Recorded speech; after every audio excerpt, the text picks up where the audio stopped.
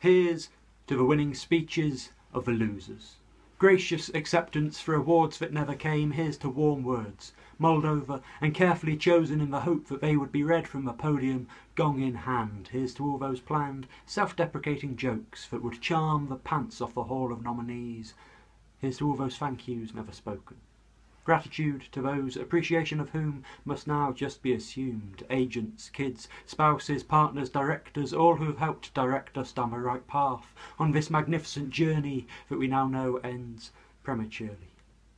That ends with a carefully folded piece of paper collapsing in on itself, returning to an inside pocket unannounced, entombed in the satin lining of a suit particularly picked to dazzle from the audience's point of view.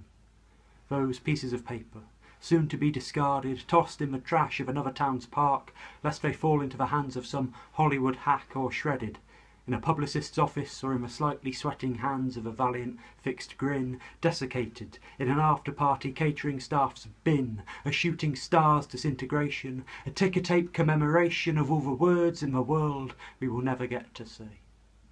We tune back in instead for that familiar final three. Thank you, thank you, thank you. Good night.